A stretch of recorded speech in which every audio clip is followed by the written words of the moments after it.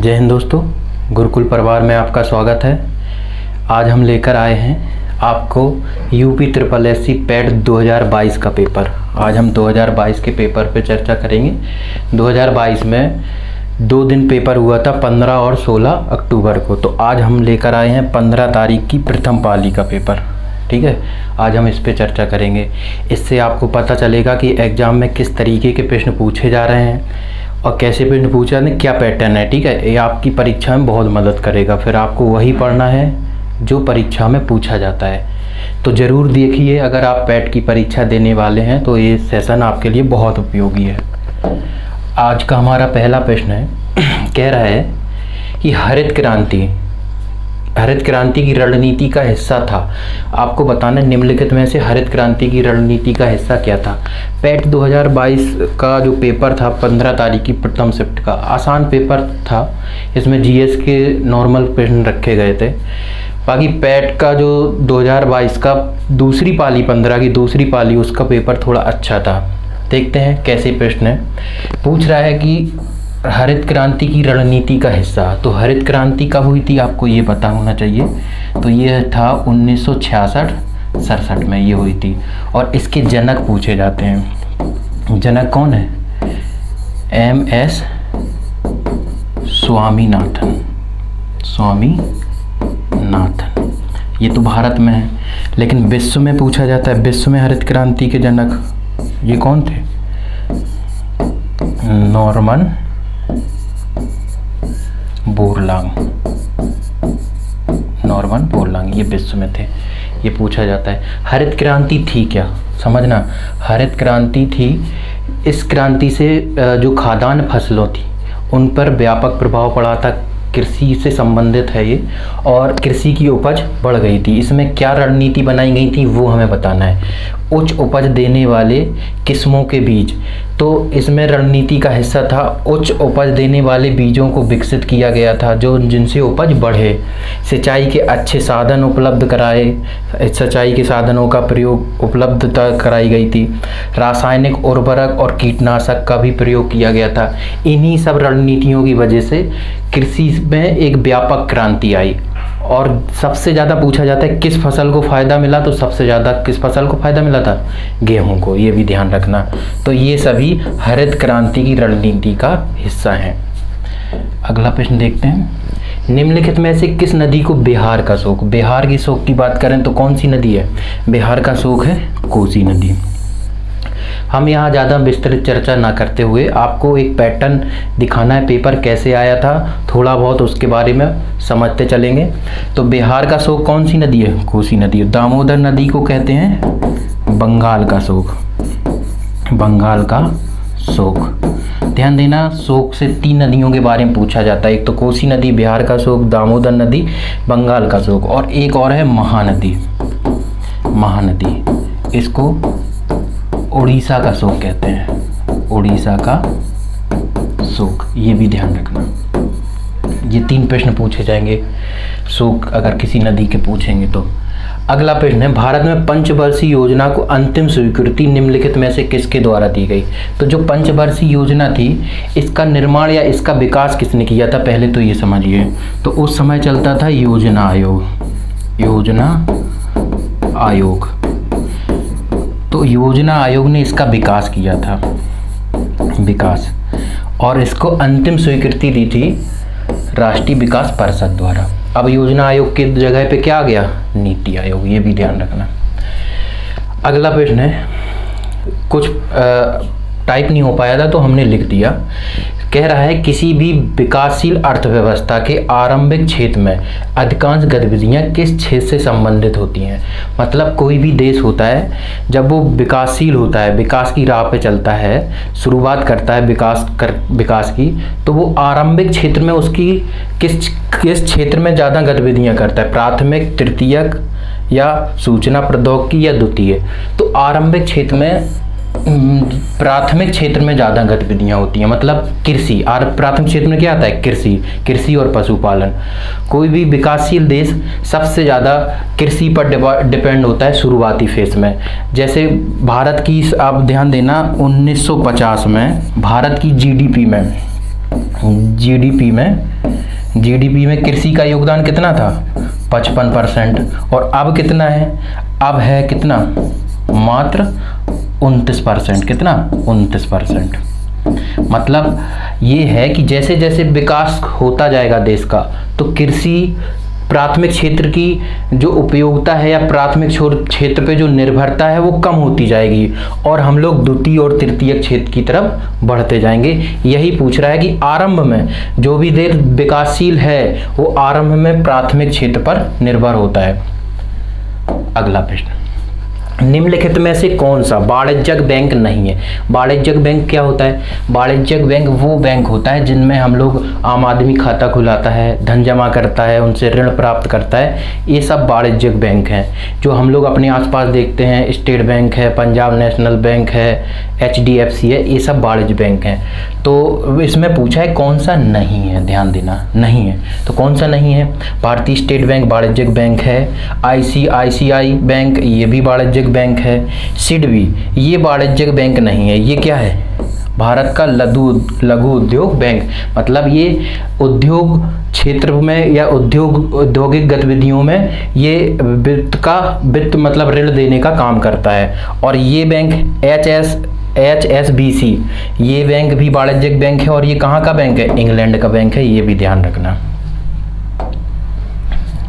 अगला प्रश्न, निम्नलिखित में से कौन सा सार्वजनिक क्षेत्र का उपक्रम संसद के तहत एक विशेष कानून, ध्यान देना, विशेष कानून पारित करके स्थापित किया जाता है। कानून के द्वारा स्थापित किया जाएगा मतलब विधि बनाकर। तो विधि बनाकर क्या, किसका निर्माण होगा? वैधानिक निगम, एकल एकल स्वामित्व या विभागीय उपक्रम। तो विधि के द्वारा जैसे कि ऑप्शन से ही पता चल रहा है, वैधानिक निगम का प्रयोग या वैधानिक निगम को स्थापित किया जाएगा विधि द्वारा। ये भी ध्यान रखना। अगला प्रश्न है, भारत की संघ कार्यकारिणी में निम्नलिखित में से कौन शामिल नहीं है? ध्यान देना, नहीं है। संघ की कार्यकारिणी में कौन शामिल नहीं है? राष्ट्रपति तो है, प्रधानमंत्री भी है है ना? राज्यों के मुख्यमंत्री नहीं होते। ये ये संघ की कार्यकारिणी के नहीं है, ये राज्य की कार्यकारिणी का सदस्य है। उपराष्ट्रपति भी है तो हमारा सही जवाब क्या हो जाएगा? Option C. अगला प्रश्न देखते हैं। अगला प्रश्न कह रहा है, निम्नलिखित में से कौन सा अनुच्छेद भारतीय संविधान में सर्वोच्च न्यायालय की स्थापना का गठन, स्थापना और गठन के बारे में। तो सर्वोच्च न्यायालय कौन से अनुच्छेद में है? अनुच्छेद 124 में। और बात करें अगर हम उच्च न्यायालय की। उच्च न्यायालय का गठन किस अनुच्छेद में ये है दो सौ चौदह में, ये भी याद रखना। अगला प्रश्न देखते हैं। मौलिक अधिकार को लागू करने की शक्ति है। किसके पास है? संसद के पास, उपराष्ट्रपति के पास, इनमें से कोई नहीं या सर्वोच्च न्यायालय और उच्च न्यायालय। तो आपको बता दें कि मौलिक अधिकारों को लागू करने की शक्ति सर्वोच्च न्यायालय के पास भी है और उच्च न्यायालय के पास भी है। दोनों के पास है, ठीक है? अगला प्रश्न भारत में राष्ट्रीय मानवाधिकार आयोग निम्नलिखित में से किस मंत्रालय के अधीन है? तो राष्ट्रीय मानवाधिकार आयोग इसकी स्थापना कब हुई थी? उन्नीस तिरानवे में। इसकी स्थापना हुई थी और ये गृह मंत्रालय के अधीन आता है। किसके? गृह मंत्रालय के। आगे चलते हैं। अगला प्रश्न हमारा कह रहा है, निम्नलिखित में से किसे किसी केंद्र शासित प्रदेश में उच्च न्यायालय स्थापित करने का अधिकार है। मतलब इनमें से कौन संसद, राष्ट्रपति या सर्वोच्च न्यायालय? कौन है ऐसा जो सर, जो केंद्र शासित प्रदेश होते हैं अपने, उनमें उच्च न्यायालय स्थापित कर सकता है? तो ये स्थापित कर सकता है कौन? संसद। संसद विधि बनाकर यहाँ पे उच्च न्यायालय की स्थापना करेगी। अगला प्रश्न कह रहा है, निम्नलिखित में से कौन सा वनस्पति रेशा नहीं है? मतलब वनस्पति रेशा नहीं है, यानी कि कृत्रिम रेशा है। तो कौन सा नहीं है? तो लाइलॉन। लाइलॉन वनस्पति रेशा नहीं है, आप ध्यान रखना, ये कैसा रेशा है? ये कृत्रिम रेशा है। ये कृत्रिम रेशा है। अगला प्रश्न, तारों का रंग किस पर निर्भर करता है? ध्यान देना, तारों का रंग। तापमान पर पृथ्वी से दूरी या वायु प्रदूषण या दबाव। तो तारा, तारों का जो रंग है, इसके तापमान पर, इसके तापमान पर निर्भर करता है।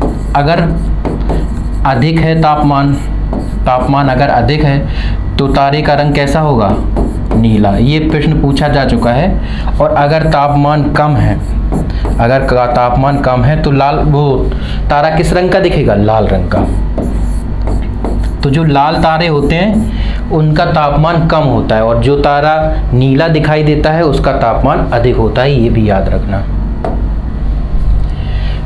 कह रहा है, निम्नलिखित में से कौन सी गैस ग्लोबल वार्मिंग के लिए जिम्मेदार है? तो ग्लोबल वार्मिंग के लिए इनमें से कौन सी गैस है? Greenhouse gas. बहुत आसान पेपर आया था, ठीक है? दो, बहुत आसान। पंद्रह, फ़र्स्ट का तो आसान आया था, सेकंड का थोड़ा अच्छा आया था, उसमें जीएस अच्छी पूछी गई थी। हम आपके सामने वो भी लेकर आएँगे अगली बार। कह रहा है, निमोनिया मानव शरीर के निम्नलिखित में से किस अंग को प्रभावित करता है? देखो कितना इजी पूछा गया। अगर जिसने, हमने जैसे अभी प्रैक्टिस सेट कराए हैं, पंद्रह प्रैक्टिस सेट अगर जिसने भी देखे होंगे तो वो इनमें से लगभग प्रश्न कर लेगा, क्योंकि प्रैक्टिस सेट में सब हम ये सब प्रश्न कराए हैं, और जिसने भी नहीं देखे तो प्ले लिस्ट में जाके देख सकते हैं। बाकी अब हम UP triple S C PET के लिए भी जी के जी एस का प्रैक्टिस सेट रोज़ लेकर आएँगे। ठीक है? तो पूछ रहा है, निमोनिया मानव शरीर के निम्नलिखित में से किस अंग को प्रभावित करता है? तो किसको प्रभावित करता है? ये तो फेफड़ों को प्रभावित करता है और इससे होता क्या है? फेफड़ों में सूजन आ जाती है। फेफड़ों में सूजन आ जाती है। अगला प्रश्न कह रहा है, पादप कोष का भित्ति किसकी बनी होती है? कितनी बार हम लोगों ने पढ़ा है प्रैक्टिस सेट में? पादप कोष का भित्ति किसकी बनी होती है? सेल्यूलोज की। अच्छा पेपर आया था, एकदम इजी आया था अच्छा स्कोर कर सकते थे इसमें। और इस बार भी ज़्यादा कठिन नहीं पूछा जाएगा। जी के जी एस ऐसी नॉर्मल पूछी जाएगी। और जी के जी एस कम से कम पचास क्वेश्चन पूछे जाते हैं जी के जी एस के। इसमें से हमने वही क्वेश्चन रखे हैं, जो मतलब जो भी पेपर में आए हैं वो। करंट के क्वेश्चन दस क्वेश्चन रहते हैं तो करंट के क्वेश्चन हम नहीं लाए, क्योंकि दो हज़ार बाईस की करंट आपकी कोई मतलब की नहीं है। बाकी ये सारे प्रश्न पेपर के ही हैं और फ़र्स्ट पाली के हैं, आप पेपर देख सकते हैं। कह कह रहा है, निम्नलिखित में से भारत का कौन सा पड़ोसी देश नहीं है? ध्यान देना, नहीं है। तो भारत के पड़ोसी देशों की बात करें तो भारत के कितने पड़ोसी देश हैं? नौ पड़ोसी। नौ पड़ोसी देश हैं।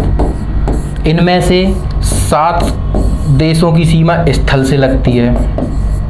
स्थल से, है ना? और दो देशों की सीमा जली जली सीमा जल से लगती है। जलीय। जली सीमा से लगने वाले दो देश कौन कौन से हैं? एक तो श्रीलंका है और दूसरा मालदीप है। ये भी ध्यान रखना। और स्थल से लगने वाले सात देश कौन कौन से हैं? वो भी याद रखना। हम बता दे रहे हैं। पाकिस्तान, अफ़गानिस्तान, चीन, नेपाल, भूटान, बांग्लादेश और म्यांमार। ये सात देश स्थल सीमा से लगते हैं भारत की। पूछ रहा है, अंतर्राष्ट्रीय जैव विविधता दिवस। तो हमने आपको बताया था। एक तो बताया था 22 मार्च। है ना? बताया था प्रैक्टिस सेट में। 22 मार्च, एक बताया था 22 अप्रैल, और एक बताया था 22 मई। तो 22 मई को क्या है? अंतर्राष्ट्रीय जैव विविधता दिवस। 22 मार्च को क्या है? जल दिवस। जल? जल दिवस। ठीक है? और 22 अप्रैल को क्या है? पृथ्वी दिवस। पृथ्वी दिवस। ये याद रखना। ये कई बार एग्जामों में रिपीट रिपीट पूछे जाते हैं। ये पूछा गया है, कभी ये पूछ लेंगे या ये पूछ लेंगे।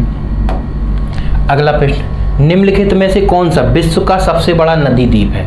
विश्व का सबसे बड़ा नदी द्वीप भी है और ये भारत का पहला, भारत का पहला नदी द्वीपीय जिला भी है, ध्यान रखना। तो ये कौन है? ये है माजुली द्वीप माजुली द्वीप। और ये कहाँ है? असम में। कौन सी नदी पर है? ये है ब्रह्मपुत्र नदी पर, ये भी ध्यान रखना, ठीक है? अगला प्रश्न अगला प्रश्न कह रहा है, निम्नलिखित में से हंगरी की राष्ट्रीय मुद्रा क्या है? हंगरी की राष्ट्रीय मुद्रा, वहाँ क्या चलता है? वहाँ क्या चलता है हंगरी में? फेरेड फेरेट फेरेट हंगरी राय, naira, Hungary pound, Hungary forint हाँ ये है, हंगरी फेरेट हंगरी की मुद्रा का नाम फेरेट है, ध्यान रखना, वो भी हंगरी फेरेट ठीक है? कई देशों की मुद्रा है फेरेट उसमें से हंगरी की भी है। स्वतंत्रता के बाद भाषा के आधार पर बनने वाला पहला राज्य का नाम बताइए। तो स्वतंत्रता के बाद भाषा के आधार पर उन्नीस सौ तिरपन में पहला राज्य कौन बना था? आंध्र प्रदेश। फिर इसके बाद उन्नीस सौ छप्पन में क्या आया था? राज्य पुनर्गठन अधिनियम। राज्य पुनर्गठन अधिनियम। उसके तहत कितने? चौदह राज्य बनाए गए थे। चौदह राज्य और छः केंद्र शासित प्रदेश। छः केंद्र शासित प्रदेश बनाए गए थे। ये भी ध्यान रखना, ये भी पूछा जाता है। शुरुआत में हमारे यहाँ चौदह राज्य थे और छः केंद्र शासित प्रदेश थे। अगला प्रश्न। लोकसभा में पद धारण करने की न्यूनतम उम्र। ध्यान देना, लोकसभा की पूछ रहा है तो लोकसभा की उम्र कितनी है? 25 वर्ष। लोकसभा की भी है और याद रखना, विधानसभा की भी है। विधानसभा। ये दोनों की उम्र कितनी है? 25 वर्ष। 30 वर्ष किसकी है? एक तो राज्यसभा की है। राज्यसभा और विधान परिषद। विधान परिषद। इन दोनों की उम्र कितनी है? तीस वर्ष। इक्कीस वर्ष किसकी है बताइए? ये है पंचायती चुनाव लड़ने की। अगर तुम प्रधानी का चुनाव लड़ना चाहते हो तो तुम्हारी कम से कम उम्र कितनी होनी चाहिए? इक्कीस वर्ष। पंचायती चुनाव। ठीक है? और 18 वर्ष, ये तो आपको पता है, मतदान की उम्र है। मतदान की उम्र कितनी है? 18 वर्ष। ये भी याद रखना। अगला प्रश्न कह रहा है U N F C C C इसका अर्थ निम्नलिखित में से क्या है? तो U N F C C C का अर्थ है United nation framework convention of, on climate change. Option first, यही है। इसको हिंदी में क्या कहते हैं? हिंदी में कहते हैं, जलवायु परिवर्तन पर संयुक्त राष्ट्र फ्रेमवर्क सम्मेलन। ये हिंदी वाला भी याद रखना। नौटंकी किस राज्य का लोक नृत्य है? तो नौटंकी कहाँ का है? अपने उत्तर प्रदेश का। वो देखो कितने आसान प्रश्न पूछे गए थे। ऐसे ही पूछे जाएँगे, ज़्यादा कठिन नहीं पूछे जाएँगे। हम ये डेढ़ महीने में आपको जो भी प्रैक्टिस सेट कराएँगे, आप वो करना, आपको देखें ना, कम से कम पचास परसेंट से ज़्यादा प्रश्न हमारे प्रैक्टिस सेट से ही देखने को मिल जाएँगे। केरल का लोक नृत्य बताओ, केरल का क्या है?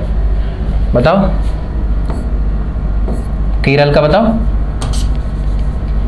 केरल का। आप आप बताएँगे आप बताएँगे, केरल का लोक नृत्य क्या है? कर्नाटक का हम बताएँ, दे रहे हैं। यक्षगान। यक्षगान, आंध्र प्रदेश का क्या है? कुचिपुड़ी। और केरल का क्या है? अब हम बता दें खुद। कथकली। कथकली, ये केरल का है, ये भी याद रखना। अंतर्राष्ट्रीय ओलंपिक समिति का मुख्यालय। बताना है कहाँ है? ये कहाँ है मुख्यालय? लुसाने। कहाँ है लुसाने में? लुसाने कहाँ है? स्विट्जरलैंड में। ये भी याद रखना। लुसाने, स्विट्जरलैंड में। निम्नलिखित में से किस प्रसिद्ध पुस्तक पावर ऑफ़ द माइंड लिखी है? किसने लिखी? बताइए। पावर ऑफ़ द माइंड पुस्तक किसने लिखी? ये पुस्तक किसकी है? ये पुस्तक है स्वामी विवेकानंद की। प्रसिद्ध पुस्तक है, आसान है। संगमरमर पर पित्रादुरा शैली या रंगीन पत्थर की जड़ाई का कार्य किसके समय में लोकप्रिय हुआ, एक तो ये प्रश्न पूछता है, और किसके समय में शुरू हुआ, ये भी प्रश्न पूछता है। तो शुरू की बात करें तो ये हुआ था शुरुआत जहांगीर के समय में। किस समय में? जहांगीर। और अगर लोकप्रिय की बात करें या बहुत अधिक, ज़्यादा मात्रा में या अधिक उपयोग किया था, किसने किया था इसका सबसे ज़्यादा प्रयोग? सबसे ज़्यादा प्रयोग किया था शाहजहाँ ने। तो ये लोकप्रिय की बात कर रहे हैं। मतलब सबसे ज़्यादा प्रयोग इस शैली का शाहजहाँ ने कराया था, क्योंकि ताजमहल में इस शैली का बहुत व्यापक रूप से इस्तेमाल किया गया है। ये भी याद रखना। कह रहे हैं, निम्नलिखित में से किस युग में तावे का पहली बार प्रयोग किया गया? कितना आसान प्रश्न पूछा गया है, देखो पैट में। तावे का प्रयोग ताम्रपाषाण युग में। इसीलिए तो इसका नाम ताम प्राषाण युग रखा गया था, क्योंकि पहली बार पासे का तांबे का उपयोग किया गया था। अगला प्रश्न, निम्नलिखित में से किस स्थान पर बौद्ध संगति का आयोजन किया गया? किस स्थान पर प्रथम बौद्ध संगति आप बताइए, प्रथम बौद्ध संगति कहाँ की गई थी? ये की गई थी राजगृह में। और इस समय शासक कौन था? अजात शत्रु पाटलिपुत्र में कौन सी हुई थी? दूसरी हुई थी। पाटलिपुत्र में कौन सी? तीसरी सॉरी पाटलिपुत्र में कौन सी हुई थी? तीसरी। और इस समय शासक कौन था? अशोक। अशोक। और कश्मीर में? इसमें चौथी हुई थी। चौथी। और इस समय शासक था कनिष्क। ये भी याद रखना। अगला प्रश्न कह रहा है, निम्नलिखित में से कौन वह व्यक्ति है जिसका नाम देवनाम प्रिय, प्रियदर्शी, देवनाम प्रिय और प्रियदर्शी भी था। तो ये किसका नाम था? सबको पता है? आसान प्रश्न पूछे गए थे, देखो, मौर्य सम्राट अशोक। ठीक है? ऐसे ही प्रश्न पूछे जाएँगे, घबराने की ज़रूरत नहीं है। जीएस में पैट में ज़्यादा टप नहीं पूछा जाता है। कह रहा है, जब ईस्ट इंडिया कंपनी की स्थापना हुई, तब भारत में निम्नलिखित में से किसका शासन था? तो ईस्ट इंडिया कंपनी की स्थापना कब हुई, ये बताइए आप। स्थापना हुई 31 दिसंबर 31 दिसंबर 1600 ईस्वी में। और इस समय कौन था भारत में शासक? 1600 में। इस समय शासक था अकबर। अकबर। ठीक है? एक प्रश्न पूछता है, जब ईस्ट इंडिया कंपनी भारत आई तब शासक कौन था? जब भारत आई। जब भारत आई, तब शासक था इसका पुत्र जहांगीर। जहांगीर के समय में ईस्ट इंडिया कंपनी भारत आई थी, ये भी याद रखना। तो किसका सम्राट था? मुगल सम्राट थे। अगला प्रश्न। भूदान ग्रामदान आंदोलन निम्नलिखित में से किसके द्वारा शुरू किया गया था? आपको हम पढ़ा चुके हैं ये प्रश्न। किसने शुरू किया था? विनोबा भावे ने उन्नीस में कहाँ से? तेलंगाना के पोचमपल्ली गाँव से। ये भी बताएँ। अगला प्रश्न। डांडी नामक यात्रा के दौरान निम्नलिखित में से किस सामाजिक कार्यकर्ता ने गांधी जी को आंदोलन को केवल पुरुषों तक सीमित न रखने के लिए राज़ी किया था? मतलब इन सामाजिक कार्यकर्ताओं में से किसने गांधी जी से ये कहा था कि ये जो आंदोलन है, आप केवल पुरुषों तक सीमित ना रखिए, इसमें महिलाओं को भी भाग लेने दीजिए। तो ये कौन थी? कमला देवी चट्टोपाध्याय। इन्होंने राज़ी किया था। एक आध दो प्रश्न अच्छे हैं उसमें। बाकी सब आसानी है। कह रहा है, राष्ट्रवाद की पहली स्पष्ट अभिव्यक्ति निम्नलिखित में से किस क्रांति में मिली थी? कितना फ़ेमस है? राष्ट्रवाद की क्रांति किससे मिली थी? फ्रांसीसी क्रांति से। राष्ट्रवाद की पहली स्पष्ट अभिव्यक्ति फ्रांसीसी क्रांति से। और ये क्रांति कब हुई थी? सत्रह सौ नवासी में। एक तो ये पूछता है, एक रूस की क्रांति पूछता है। रूस की क्रांति कब हुई थी? 1917 ये डेट याद रखना। और एक चीन की क्रांति। चीन की क्रांति 1911 ये तीनों याद रखना, विश्व इतिहास से ये डेट बहुत पूछता है। अगला प्रश्न। सरकार ने निम्नलिखित में से किस अधिनियम के कारण बम्बई से सिंध प्रांत का निर्माण किया था? मतलब पहले जो सिंध प्रांत था, ये मुंबई का ही हिस्सा था, मुंबई के ही अंतर्गत आता था। फिर एक अधिनियम आया, भारत शासन अधिनियम 1935 कौन सा अधिनियम? भारत शासन अधिनियम 1935 इसके तहत मुंबई से सिंध प्रांत को अलग कर दिया गया था। अगला प्रश्न प्रसिद्ध युद्ध का नारा दिल्ली चलो किसने दिया? दिल्ली चलो का नारा किसने दिया था? ये नारा दिया था 1944 में किसने? सुभाष चंद्र बोस ने। किसने? सुभाष चंद्र बोस ने। अगला प्रश्न। निम्नलिखित में से कौन जनसंख्या वितरण को प्रभावित करने वाला आर्थिक कारण? ध्यान देना, आर्थिक कारण नहीं है। कौन सा नहीं है इनमें से? खनिज, औद्योगिकरण, पानी की उपलब्धता या शहरीकरण? मतलब जनसंख्या वितरण का क्या मतलब होता है? जरा एक मिनट समझेंगे। जनसंख्या वितरण होता है जैसे अभी जो अलग अलग क्षेत्र में बिखरी हुई जनसंख्या, जैसे अलग अलग गाँवों में, शहरों में जनसंख्या फैल के जो निवास कर रही है, उसी को जनसंख्या का वितरण कहते हैं।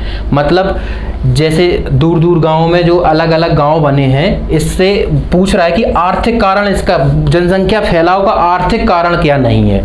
आर्थिक कारण क्या नहीं है? खनिज खनिज की बात करें तो ये आर्थिक कारण है, जहाँ भी खनिज होगा, वहाँ उद्योग धंधे स्थापित होंगे, लोग जाके वहाँ पे बसेंगे।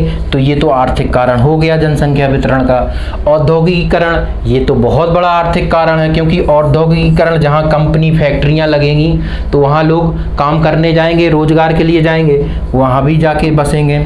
पानी की उपलब्धता, ये आर्थिक कारण नहीं है।